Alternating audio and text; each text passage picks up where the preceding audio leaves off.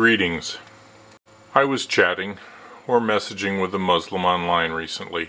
He wrote that the Quran was clear and easily understandable. The Quran, everyone that speaks Arabic understands it. It's very clear. The Quran is simple and clear to Muslims. I repeat, the Quran is clear and simple to Muslims. Every 10 year old kids understand the Quran. I repeat, give me one, only one verse that is unclear. I will clear it for you since I am a Muslim and you're a Christian. So I ask the following question Which of the many stories do you believe about what really happened as described by Surah 4 157? 1. Do you believe Judas was made to look like Jesus, as some claim? 2. Or was Jesus' lifeless body crucified? As the modern rationalizations claim. 3. Do you believe a lifeless form was made to look like Jesus? So not Jesus' body, but just some other inanimate flesh. 4. Do you believe nothing was crucified, only it appeared like an image was? 5. Or was it all just a deceptive hallucination which Allah made happen in the minds of the people including the followers of Jesus. And I was surprised by the answer. These are his words. I'm trying to be fair to this gentleman's response. The answer is none of the above. It's a guy that looks like Jesus that already was living. It's not Judas transforming. There are guys that look like me, that I saw, really look like me, only difference is that I have a black spot on my left hand's center and one hidden near my eyes. So it's rather a man that looks like Jesus. The Jews were trying to find Jesus. All they saw was this man that looked like Jesus, so they assumed he is Jesus. So when they crucified this look-alike, he screamed, Why have you forsaken me? In which sounds like, Why are you doing this to me? As if he didn't want to be crucified because he is not Jesus. Now, which, whatever you want, that means nothing, but Jesus was not crucified. I have fixed some spelling and grammar issues. My point here is not to mock language challenges. The surprise is that his answer is yet another new rationalization, not one of the five I'd heard. 6 another person, a real guy, but not Judas, is killed in place of Jesus. And this actually aligns with uh, some of the translations that I read.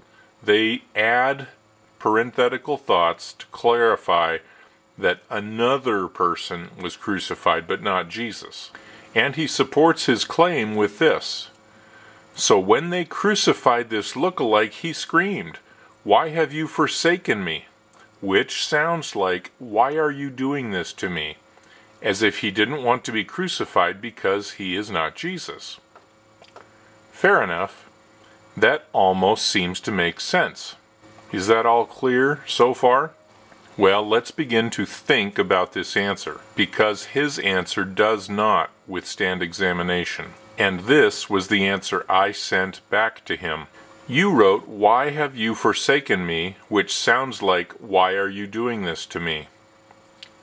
Think about it, my friend. Jesus says, Why have you forsaken me? And your training teaches you to imagine different words. You hear, Why are you doing this to me? And this is really common within Islam. The written text in black and white that is recorded there is not what those blessed people see. Their minds are blinded to the actual written word. It's really just a demonic bondage over their minds. So the written text is, Why have you forsaken me? And what they imagine is words like, Why are you doing this to me? See how they change the words in their mind. They see the one, but they think the other. But the two questions are very different. The real text implies an intimate knowledge, to forsake. But you must think about what forsake means to understand this. Forsake means, One, to give up, as in something formerly held dear, to renounce. A second definition is to leave altogether, to abandon. Both definitions mean a previous relationship. So when you try to create an excuse why some stranger, some unknown person asks, Why are you doing this to me? you are changing the meaning of the Word of God, my friend. Remember, this is exactly what I wrote back to this Muslim brother. But examine your claim you claim some other man cried out, Why are you, meaning God, doing this to me? Now there are two situations to consider. This other man obeyed God or he disobeyed God. He was Muslim or not Muslim by your definitions. And notice, these two categories are complete. You are either Muslim or you are not Muslim. That is how the world is divided. Either this other man obeyed God or he disobeyed God. Either he was Muslim or not Muslim. Think about that. He was either Muslim or not Muslim. There is no third choice.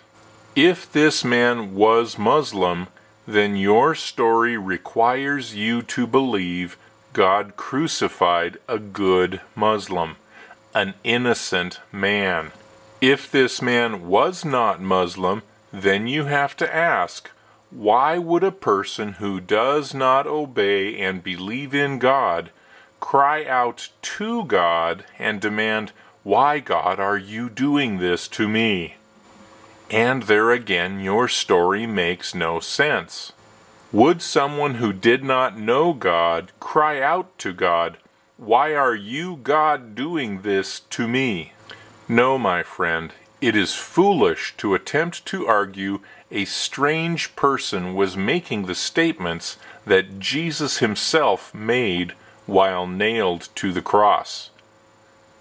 It only makes sense that Jesus, who had a relationship with God and suddenly felt separation, would cry out, why have you, God, forsaken me?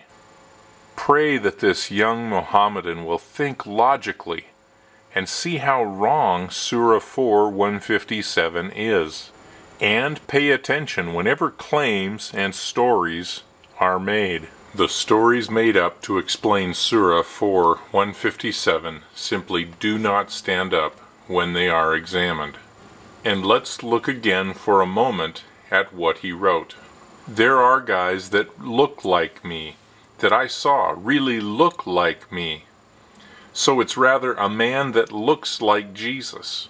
The Jews were trying to find Jesus. All they saw was this man that looked like Jesus. Notice how he repeats four times that this person looked just like Jesus. Naturally. Two translations I found align with this but two translations did not. Yusuf Ali, but so it was made to appear to them. Pickthall, but it appeared so unto them. Sahih International, but it was made to resemble him to them. The whole point is that the Koran is not clear, and there is not one single explanation which can be defended, which makes sense which can bear up under scrutiny, which can withstand the obvious questions that beg to be asked. Ambiguous claims are meaningless claims. And the claim of Surah 4 157 is ambiguous and therefore meaningless. May the Spirit of God open your eyes to the light your ears to the truth, and your heart to his Son, the Lord Jesus Christ. Amen.